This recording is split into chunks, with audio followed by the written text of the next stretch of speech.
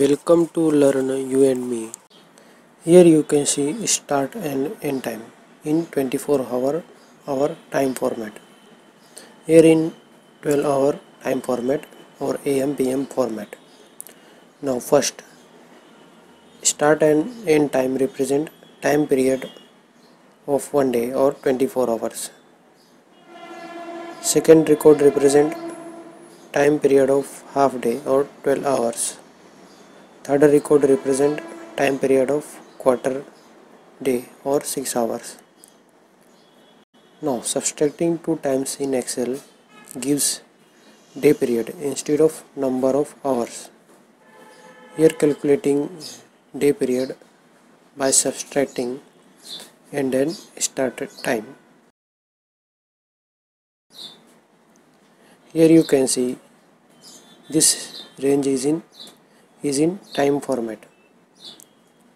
To see day period make sure to convert it in general or number format and this is important step. Now you can see day period.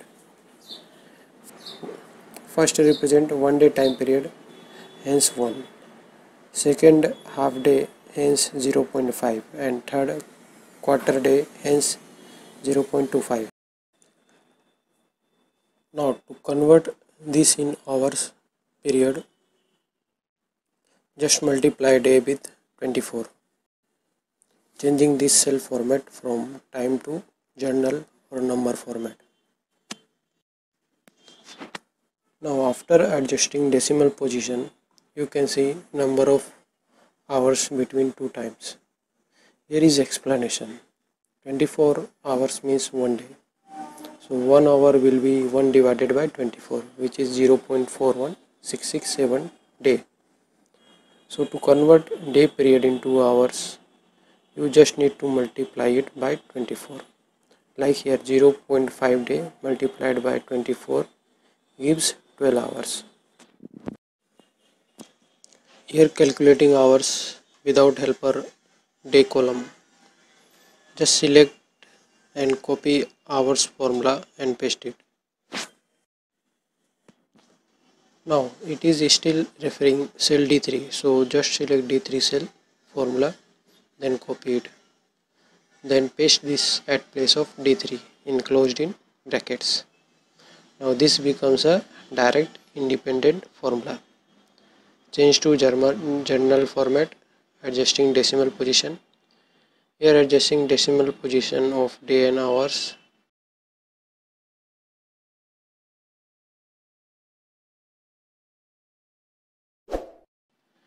Now for am pm time format formula will remain same.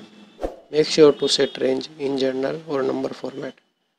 Copy pasting the above table formula and dragging down to fill formulas in blank cells. So this is how we calculate number of hours between two line two times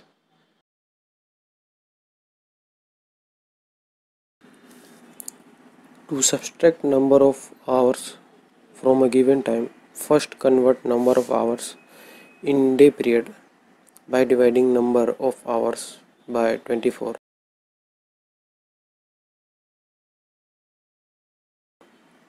Now subtract this day period from time.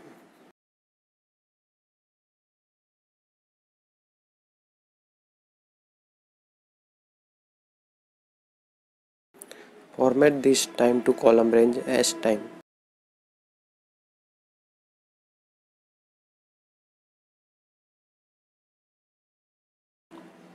As you can see, time after subtracting number of hours.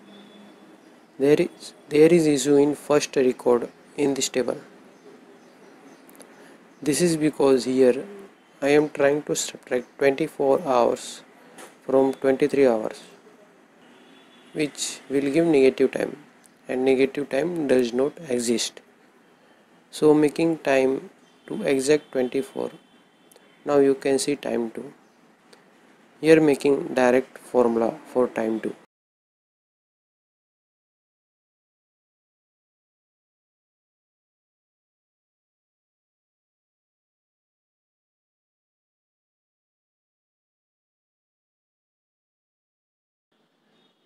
so if you find this video useful then hit like and subscribe my channel.